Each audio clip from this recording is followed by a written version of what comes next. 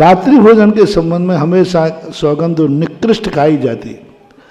रात्रि भोजन इतना पाप माना जाता था उस समय कि कोई जीव तुम्हारे द्वारा धोखे से मर जाता है तो वो भी उतना पाप नहीं है, जितना पाप रात्रि भोजन का माना जाता था।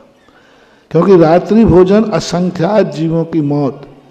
दूसरा, रात्रि भोजन करने वाले की बुद्धि कभी धार्मिक नहीं होगी। क्योंकि रात्रि में निशाचरी शक्ति जागती है। आपने देखा होगा, रात्रि में जितने जीव विचरण करते हुए सब हिंसक होते हैं। तो रात्रि भोजन करने वाले के परिणाम कभी सात्विक नहीं होंगे।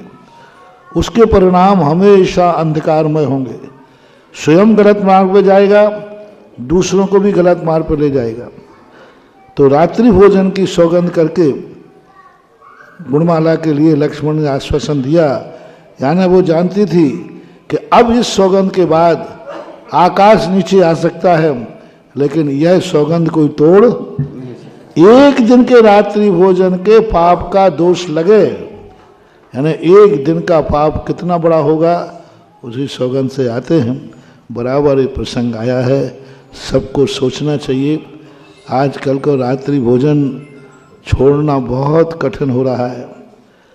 बहुत लोग गिड़गड़ाते हैं, महाराज, बचाओ। हम रात्रि भोजन के लिखते तो ऐसे लगता था तुम्हारे प्राण ले रहे हो।